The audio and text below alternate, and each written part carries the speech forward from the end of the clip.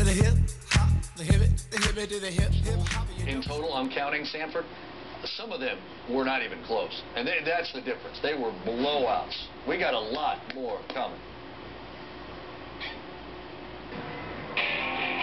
His fantastic play overshadowed by his not-so-stellar antics. What we should think about Johnny Manziel and his Kevin Sumlin close to losing his football team. Clemson with a momentous win Saturday night against Georgia. How much of a national player do we now think the Tigers really are? Who impressed us the most? We'll tell you the five most impressive in our minds. That's right. Who made statements, maybe unexpected statements in week number one.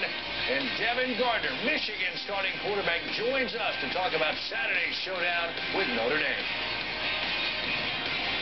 It is College Football Daily cruising along. Paul Finebaum, Dari Nowkhah, Jason Sehorn along in a bit, Charles Arbuckle along. Fine bum. I mean Bob. My new top five in just a few minutes. Also Heisman talk.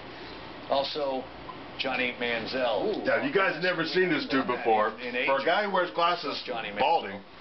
Uh, he's really, pretty, you know, really, really good, right? He's got some uh, playing.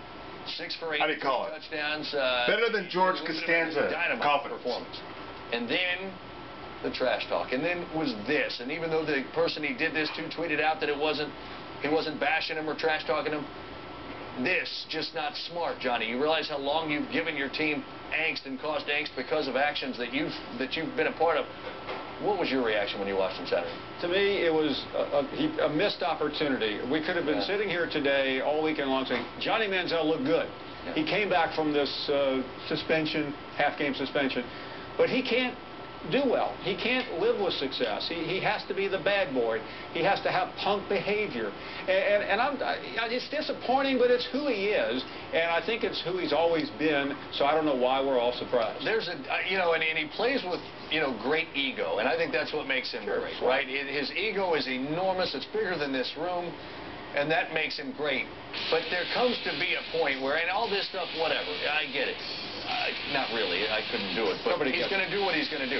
But it's it's it's walking past his coach. It's the disrespect that he does show the other team, as well as the disrespect that he shows his coach. The only guy that's really had his neck though the, the whole time through all this Kevin Sumlin deserves better, and we'll talk about this a little bit later in a, in a roundtable setting, but I'm a little concerned Kevin Sumlin's going to lose this football team. Well, Kevin Sumlin made a deal with the devil. He, he let Johnny slide last year. He let him slide during the offseason, and now he's stuck with it. Uh, yeah, I like him. Everyone likes Kevin Sumlin. He's a, he's a great coach, but uh, he's made a bet, and now he's going to have to let him. He's in a difficult situation. I can't. I don't know that there's a coach in the country that would want to switch places with him. Well, I think in Kevin Sumlin's mind, he has to survive September 14th. That's what this is all about.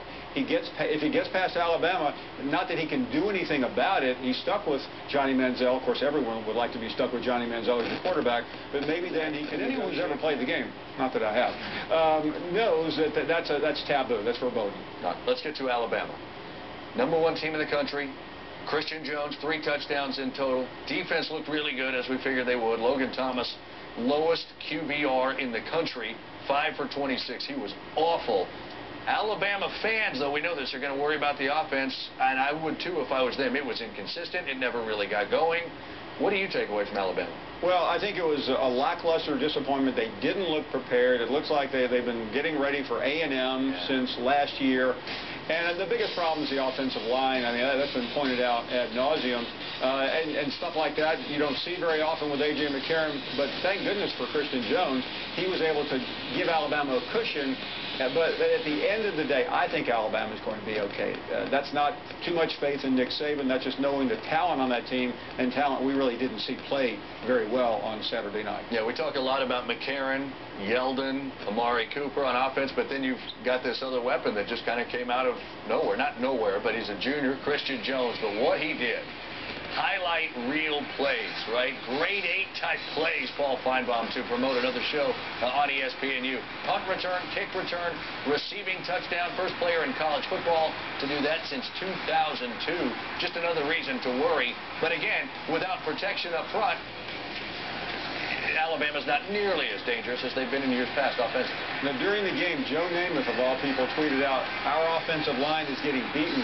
And when Kouandjio gets called twice for holding, you know you have a problem. But we got used to it last year. But I think that's something you can work on in the two weeks. And I think deep down, Nick Saban is going, you know what, I like this. I can get in there and just Yeah. take their heads off and get their attention. And, and it- it's really fortunate Alabama has an off week. Some people didn't like that, but now it works perfectly to and, on. The beat don't stop until the break of dawn. I sing it on and, and on and on and on and on like a hot butter. The pop, the pop, the pop, give it, give it, pop, the pop, pop. You don't dare stop or come alive, y'all. Give me what you got.